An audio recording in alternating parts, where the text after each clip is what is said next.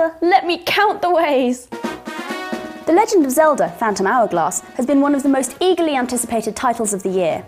The story continues on from Legend of Zelda The Wind Waker, which came out on GameCube three years ago.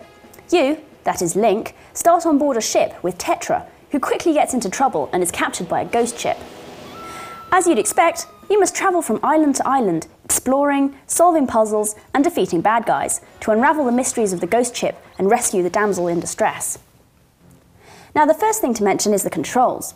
You can use the buttons to quickly access maps and inventory or to equip your secondary item, but that's it. All movement, combat and item use is done by stylus. People who have been playing Zelda games using D-pad controls for the last 20 years may not like the change so much, but it really does add a lot to gameplay.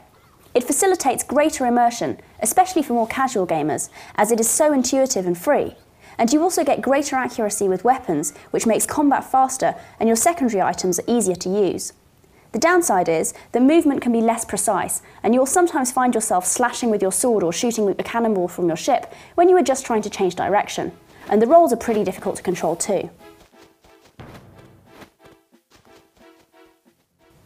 Another awesome innovation that really uses the touchscreen to its full potential is the fact that you can annotate your maps. Now, I can't overemphasize how cool or useful this is.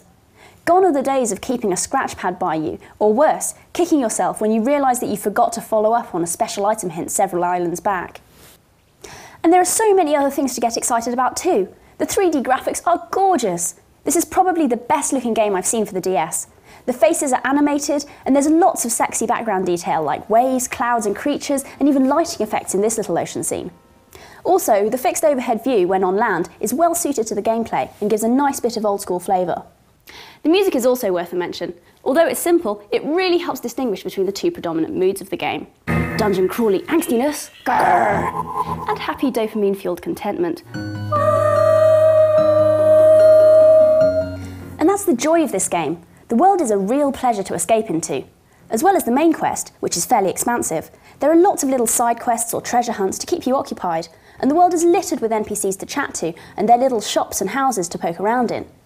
The main NPCs have all been really well designed. They are quirky and amusing and have real depth to their characters.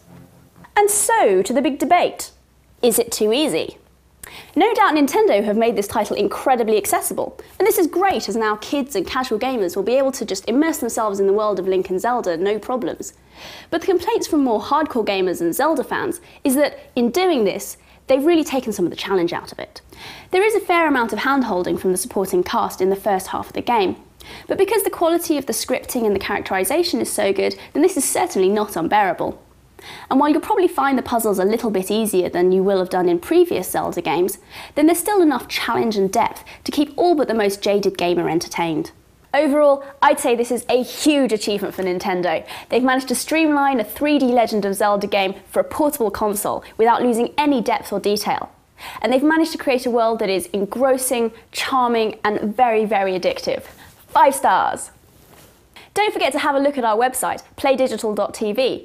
And for your link to some other TV goodness, have a look at our other shows at channelflip.com.